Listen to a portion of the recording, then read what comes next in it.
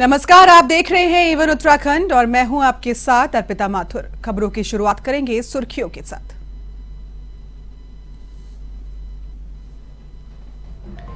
पुष्कर सिंह धामी दूसरी बार बने उत्तराखंड के मुख्यमंत्री। आठ विधायकों को भी राज्यपाल ने दिलाई मंत्री पद की शपथ। सतपाल महाराज, रेखा आर्य, गणेश जोशी, सौरभ बहुगुणा, सुबोध उनियाल को मिला मौका।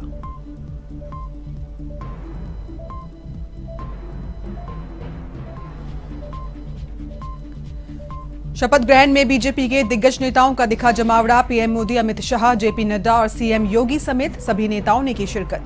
कहा, डबल इंजन की सरकार करेगी सपने साकार।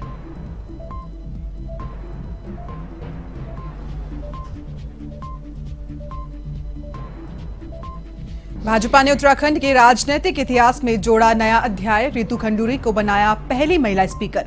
रितु ने कोटद्वार सीट से जीता है चुनाव।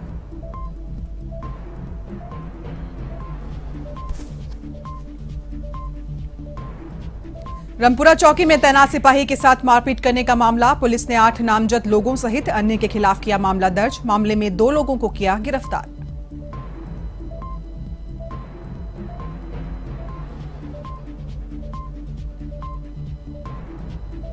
पाँच राज्यों में चुनाव खत्म होते ही तेल के दामों में उबाल, लगातार दूसरे दिन महँगा हुआ पेट्रोल, डीजल। देहरादून में डीजल अट्ठासी दशमलव नौ तीन रुपए प्रति लीटर तो पेट्रोल पिचानवे दशमलव पाँच चार रुपए प्रति लीटर पर पहुँचा।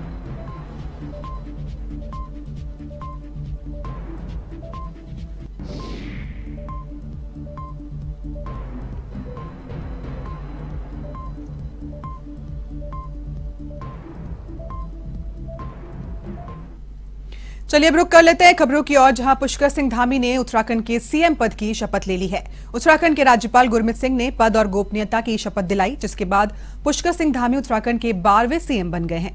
पुष्कर सिंह धामी के साथ आठ विधायकों ने भी शपथ ली। आपको बता दें, वे लगातार दूसरी बार उत्तराखंड के सीएम बनने वाले पहले नेता हैं।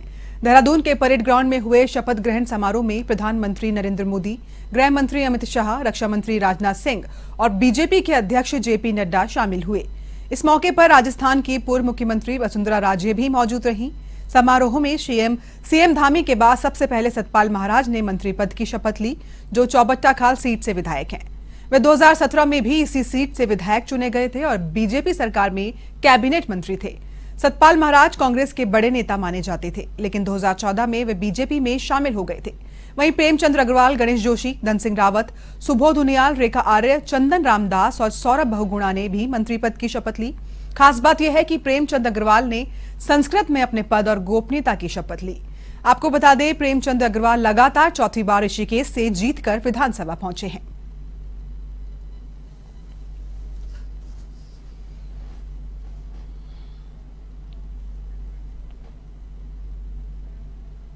तो वह उत्तराखंड में पुष्कर सिंह धामी ने टपकेश्वर मंदिर में पूजा अर्चना की और प्रदेश में खुशहाली की कामना की। इस दौरान धामी ने टपकेश्वर मंदिर में शिवलिंग का जलाभिषेक किया।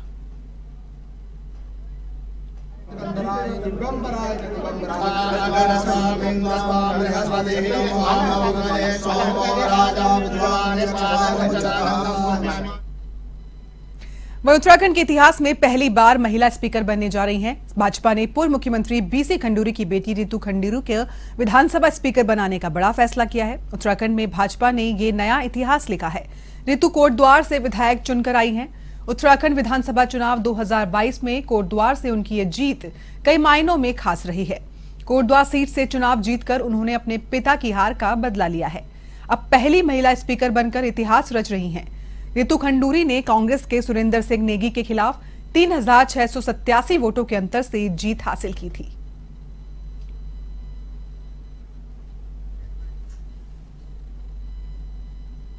लालकुआ विधानसभा के पूर्व विधायक नवीन चंद्र दुमका ने प्रदेश में पुष्कर सिंह धामी के दोबारा मुख्यमंत्री बनने पर बधाई दी है। उन्होंने कहा कि पुष्कर सिंह धामी के मुख्यमंत्री बनने से उत्तराखंड को उनकी ऊर्जा का लाभ मिलेगा और उनके नेतृत्व में प्रदेश में चहुमुखी विकास होगा। क्योंकि पुष्कर सिंह धामी के पहले कार्यकाल में अनेकों जन कल्याणकारी योजनाएँ प्रदेश को मिली है। उन्होंने कहा कि पुष्कर सिंह धामी ने युवाओं को रोज़गार देने के साथ साथ पलायन के मुद्दे पर उनके द्वारा ठोस रणनीति अपनाई गई थी।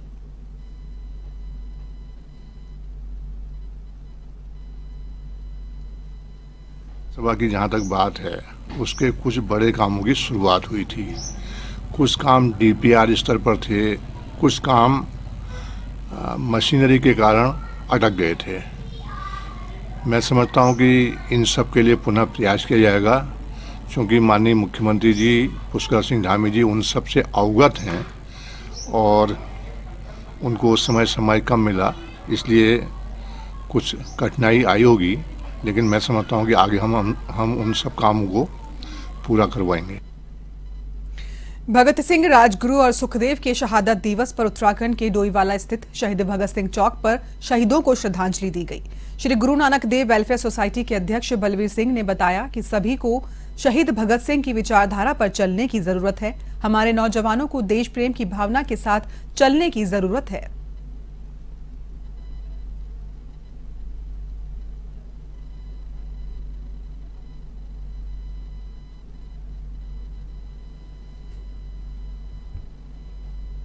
भगत सिंह राजगुरु और सुखदेव उनका शहीद दिवस है जिस पर हमने यहाँ पर आयोजन किया है ये इस चौक पर यहाँ पर इस चौक का नाम भगत सिंह चौक है।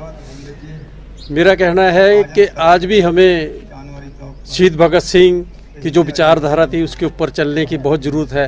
कि आज़ादी के लिए बलिदान देने वाले हमारे भगत सिंह जी सुखदेव जी राजगुरु इन्होंने आज बलिदान दिया फांसी चढ़े।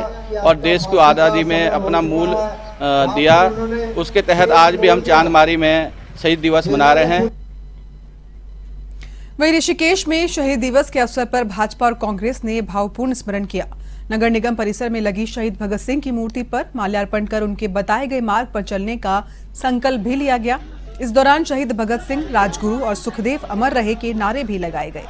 कार्यक्रम से पहले शहर में भाजपा कार्यकर्ताओं ने जुलूस निकाला, जिसके बाद आयोजित कार्यक्रम में पहुँचे विधायक प्रेमचंद अग्रवाल ने शहीद भगत सिंह, राजगुरु और सुखदेव के जीवन पर प्रकाश डाला वहीं यूथ कांग्रेस ने भी शहीद आज़म, भगत सिंह, राजगुरु और सुखदेव को याद करते हुए लोगों से उनके बताए मार्ग पर चलने का संकल्प लेने की अपील भी की है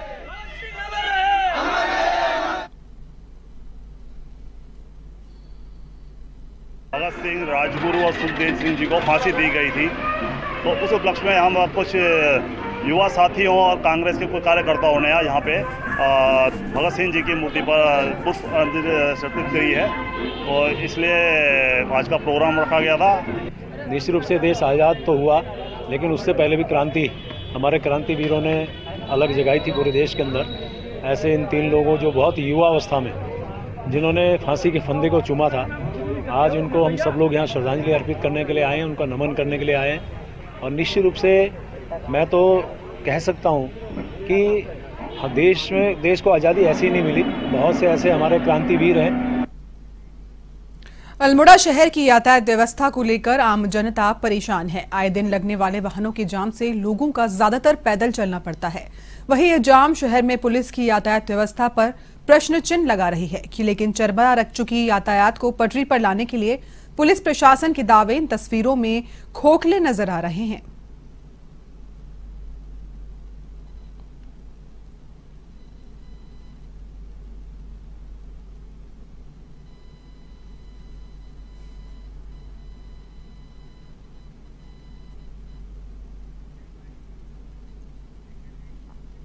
रमपुरा चौकी में तैनात सिपाही के साथ मारपीट करने के मामले में पुलिस ने आठ नामजद लोगों सहित अन्य के खिलाफ मामला दर्ज कर लिया है। पुलिस ने इस मामले में दो लोगों को गिरफ़्तार कर लिया है, जबकि अन्य आरोपियों की धरपकड़ के लिए दबिश दी जा रही है। आपको बता दें, नशे की हालत में कुछ लोगों ने विनय कर्नाटक के साथ मारपीट कर दी थी, जिसके बाद पुलिस ने पीड़ित कांस्टेबल की तहरीर के आधार पर कार्रवाई की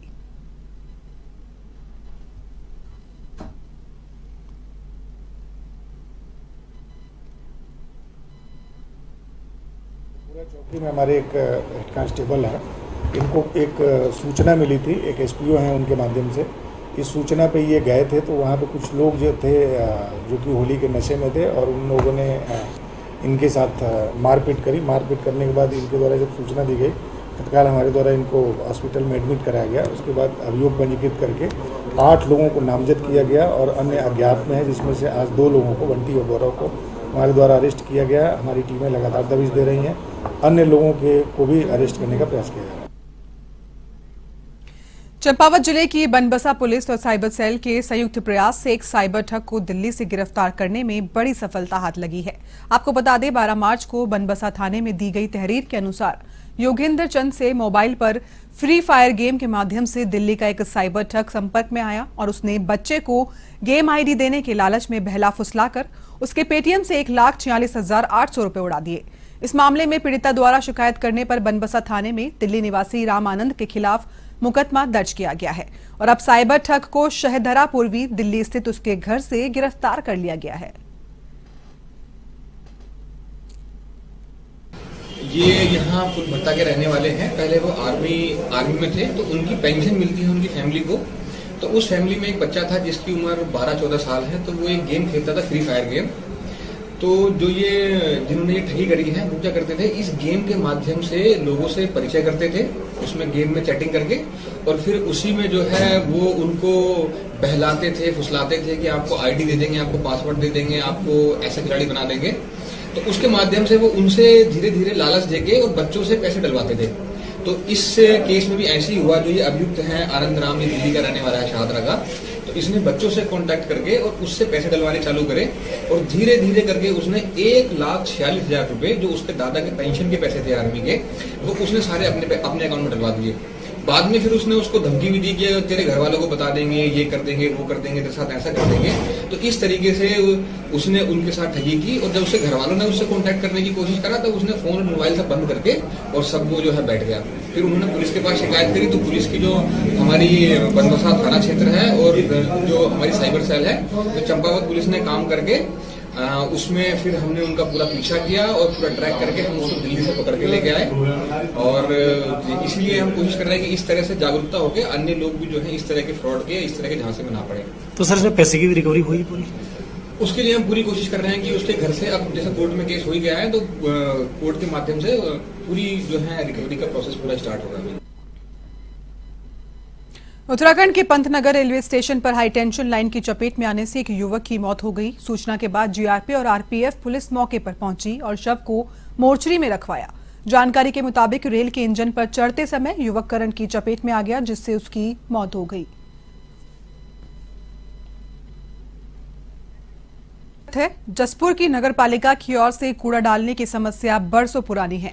कई ऐसी जगह है जहाँ नगरपालिका का कूड़ा डाला जाता है, जिसको लेकर लोगों को काफ़ी परेशानियों का सामना करना पड़ता है। कूड़े के कारण शहर में बीमारी फैलने का एक बड़ा खतरा भी मंडराता नज़र आ रहा है, क्योंकि जसपुर नगर पालिका के पास स्थायी टंचिंग ग्राउंड न होने के कारण इधर उधर कूड़ा डाला जाता है। वहीं स्थानीय लोगों द्वारा कई बार इसकी शिकायत भी की जा चुकी है। इस बात को लेकर नगर पालिका अधिशासी अधिकारी शाहिद अली ने बताया कि नगरपालिका के पास भूमि का अभाव है और टंचिंग ग्राउंड न होने के कारण जगह जगह सड़कों के किनारे कूड़ा डाला जाता है।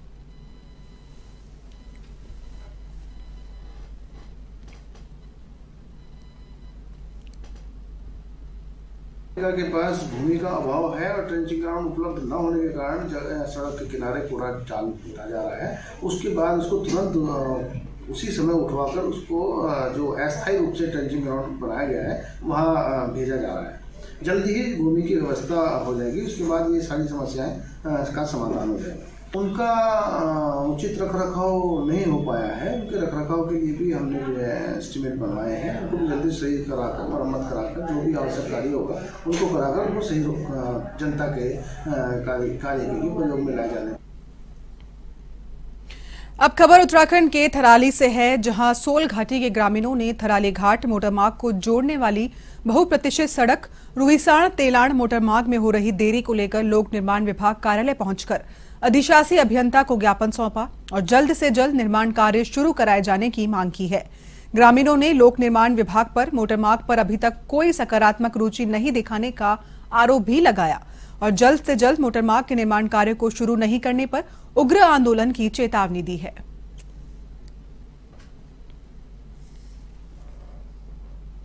हमारे ग्रामीण मोटर मार्ग से जुड़े, लेकिन कहीं तमाम कोशिशें की जा रही है, विभागीय कार्रवाई की जा रही है। हम हमेशा ही पीडब्ल्यूडी कार्यालय तो हमारे लिए ऐसा हो गया है, जैसे कि आम रास्ता ही। हमारे तो जूते ही किस गए यहाँ आते आते हम इतने बड़े गाँव से आ रहे हैं जहाँ पे 210 से 215 लोग निवासरत हैं।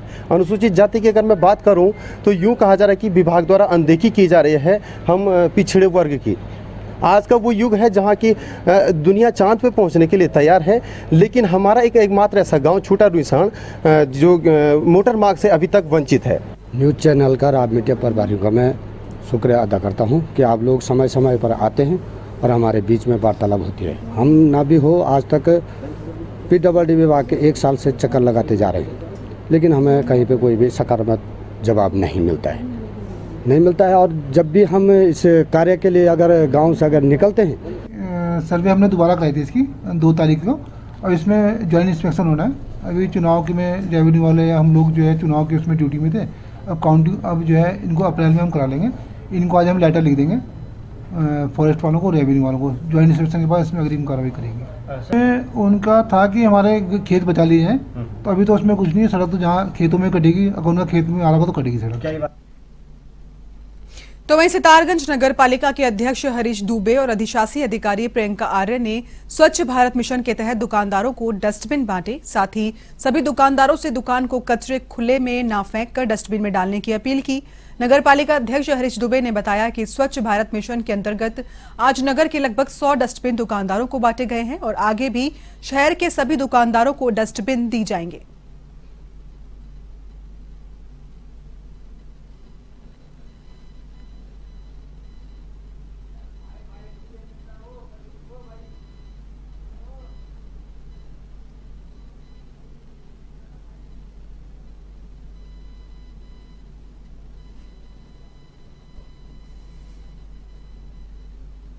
दुकानदारों को जो है डस्टबिन बांट रहे हैं आज अपने नगर पालिका स्वच्छ भारत मिशन की ओर से। और हम सबसे निवेदन भी यही करते हैं कि सभी लोग कूड़ा इधर उधर जमीनों पर ना फेंक के, कूड़ेदान में ही फेंके। हमारी गाड़ियाँ आप देखिए, सुबह भी, दोपहर भी, शाम भी तीनों टाइम आ रही हैं। आप कूड़ेदान में जो कूड़ा है, हमारी गाड़ियों में डालें और सूखा और गीले कूड़े को अलग अलग रखें ताकि उसको छाटने में परेशानी हमको ना आए। और इस तरीके से स्वच्छ भारत और स्वच्छ सितारगंज बनाने में हम लोगों की मदद करें। बाजपुर में भारतीय किसान यूनियन से जुड़े किसानों ने खेतों में लगे ट्यूबवेल का विद्युत बिल अधिक आने से आक्रोशित होकर अधिशासी अभियंता का घेराव किया। इस दौरान किसानों ने विद्युत बिल को कम कराने की मांग की। वहीं अधिशासी अभियंता ने किसानों को बिल सही कराने का आश्वासन भी दिया।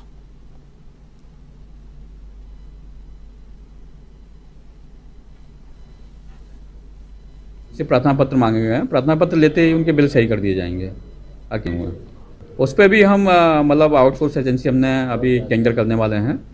तो उसमें काम किया जाएगा। जो वास्तविक सर्वे करते हुए जो मीटर जिनके खराब है मीटर चेंज कराए जाएँगे। अ, वास्तविक रीडिंग के आधार पर ही बिल बनाए जाएँगे।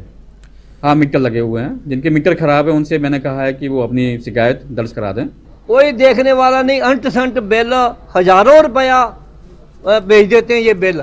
जो कि वाजब नहीं है। हमारी मोटरें जो हैं ट्यूबवेल जो हैं छः महीने से चले ही नहीं। क्योंकि बारिश होगी, गेहूँ को पानी लगाना नहीं पड़ा। तो इसलिए हम आए हैं एक्शन साहब के पास कि ये बिल जो हमारे अंट संट हैं, इनको ठीक करो, इनको बिलों को। तो वही देश में पेट्रोल, डीजल की कीमतों में लगातार दूसरे दिन भी इजाफा हुआ है। पाँच राज्यों के विधानसभा चुनाव खत्म होने के बाद बीते दिन पेट्रोल डीजल पर राहत मिलनी बंद हो गई है। देहरादून में डीजल अट्ठासी दशमलव नौ तीन रुपए प्रति लीटर तो पेट्रोल पिचानवे दशमलव पाँच चार रुपए प्रति लीटर बिक रहा है। थोक उपभोक्ताओं के लिए डीजल कीमतों में पच्चीस रुपए प्रति लीटर की बढ़ोतरी पहले ही कर दी गई थी। अंतर्राष्ट्रीय स्तर पर कच्चे तेल की कीमतों में 40 प्रतिशत के उछाल के बाद यह कदम उठाया गया है, जिसके बाद अब पेट्रोल पंप में डीजल की कीमत में बदलाव हुआ है।